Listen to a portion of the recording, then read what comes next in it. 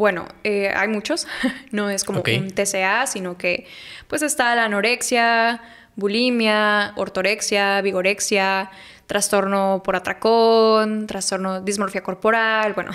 Ok. Tiene una, serie de, hay, mucho, ¿no? características, de vertientes. Los más conocidos son la anorexia y la bulimia, la vigorexia. Son los que, pues, creo que todos en algún momento hemos escuchado. Se sabe que, pues, hay distorsiones en la imagen corporal cañonas que le pues generan a la persona que lo padece muchísima ansiedad, muchísima angustia, frustración, enojo y entonces se orillan o se apoyan en conductas sumamente peligrosas de riesgo cañón, pues que atentan tal cual contra su vida con la intención de eh, bajar de peso, eh, estar mm, pues, más guapos, más fuertes, todo eso. Comer saludable, pero con una obsesión, pues, o sea, ese tipo de cosas. Psicoanalizado aquí. Entonces, esa parte es la, ortorexia, ¿no? La obsesión con la parte saludable, orgánica, eh, todo eso. Sí, fit.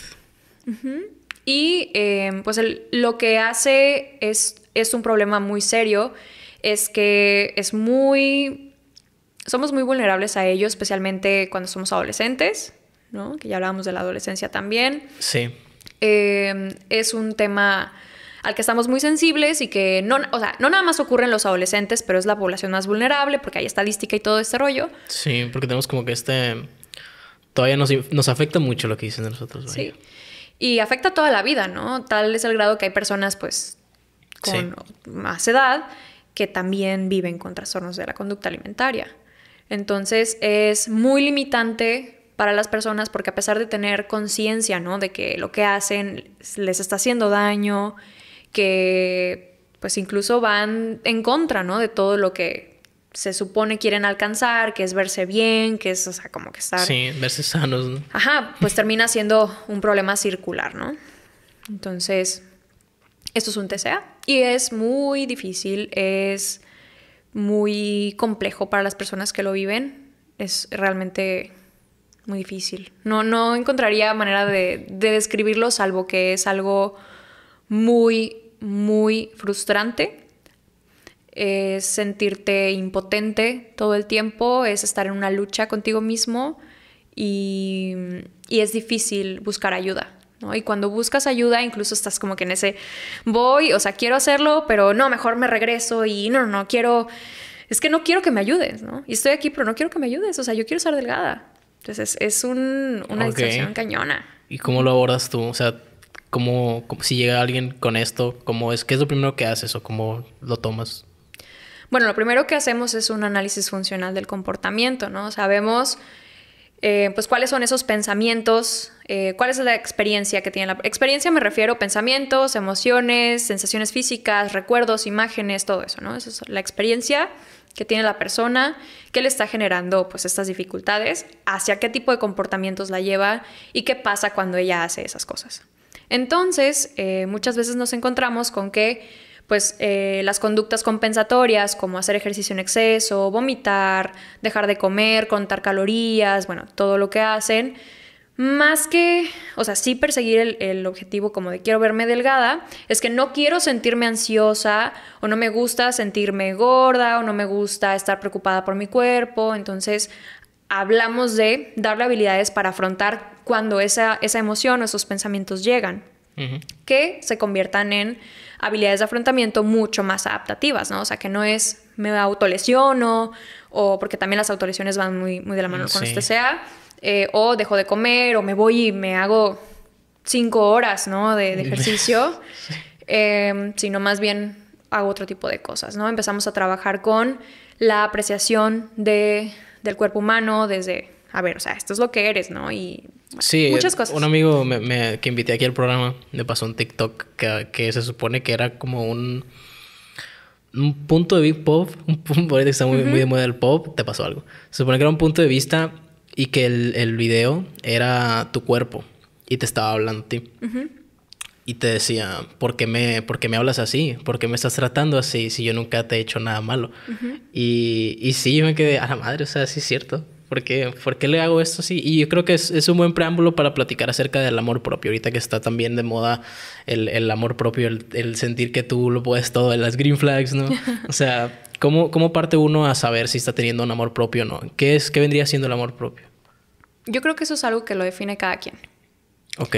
No creo que haya una definición general de amor propio. O sea, para mí amor propio puede ser salir del consultorio y llegar por mi cafecito porque me lo merezco, porque he tenido un día difícil. Y eso puede ser un gesto de amor hacia mí.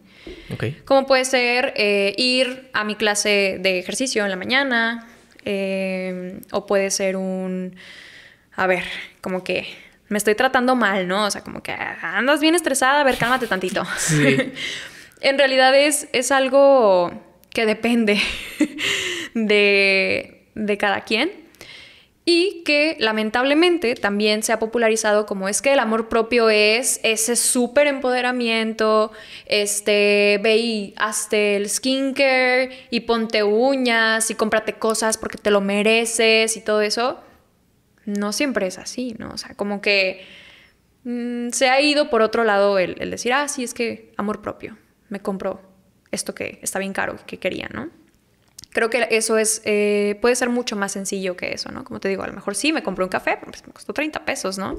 Y me gusta mucho el café, lo disfruto, como puede ser un, me voy a tomar, sé que estoy trabajando y que tengo un montón de pendientes que sí tengo, eh, pero me voy a tomar este ratito, esta media hora, un break, porque siento que lo necesito y le voy a hablar a un ser querido, porque eso a mí me llena mi corazoncito, entonces pues voy a cargar pilas para poder seguir con lo que estoy haciendo. ¿Y la relación con, con tu cuerpo?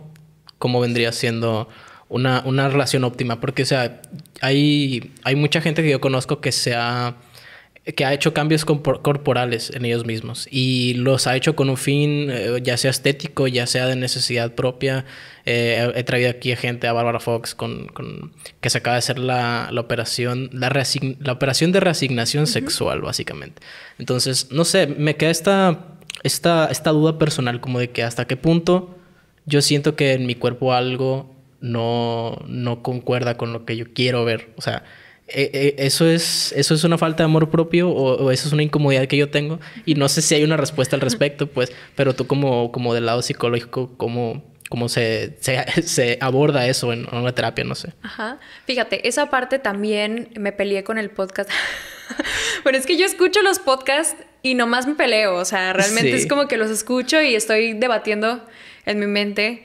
Eh, que es interesante, ¿no? De escuchar podcast precisamente de, oye, no estoy congeniando con esto, pero ahora sé que no, que, que esa idea no, no, no, va con mis ideales o con mi ética de trabajo. Sí. O sea, por algo están ahí.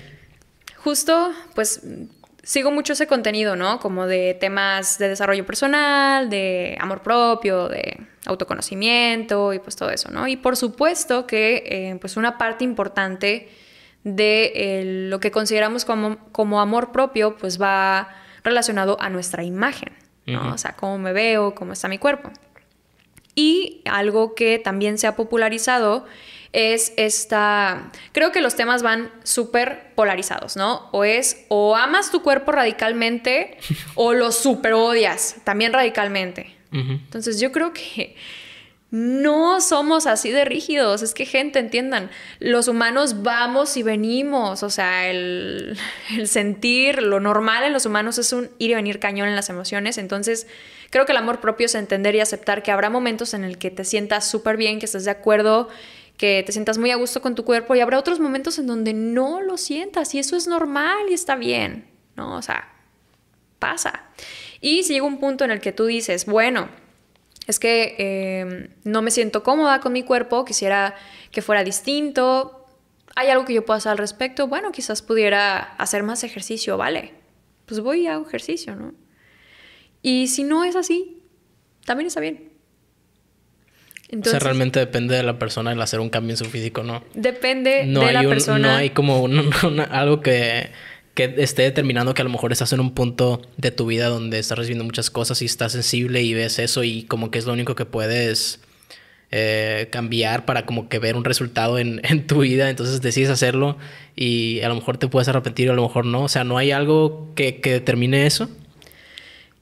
Cada, cada quien tenemos valores distintos, ¿no? Y no valores de el respeto, solidaridad, sino a qué le doy yo valor en mi vida, qué es importante para mí, ¿no? Hay personas que em, pues dan este valor, ¿no? A, a, a la imagen y eso es completamente respetable, está bien, ¿no? Pero pues no nada más somos como nos vemos, no nada más somos lo que hacemos, no nada más somos eh, las personas con las que estamos, ¿no? Entonces es como que todo un conjunto de cosas que son valiosas, que son importantes. Y eh, si hay algo que yo pueda hacer que me acerque a la persona que yo quiero ser, en todos esos contextos y lo hago, bien, yo creo que eso es amor propio. Es dar pasos hacia ser la persona que quiere ser en cualquier contexto, en cualquier ámbito.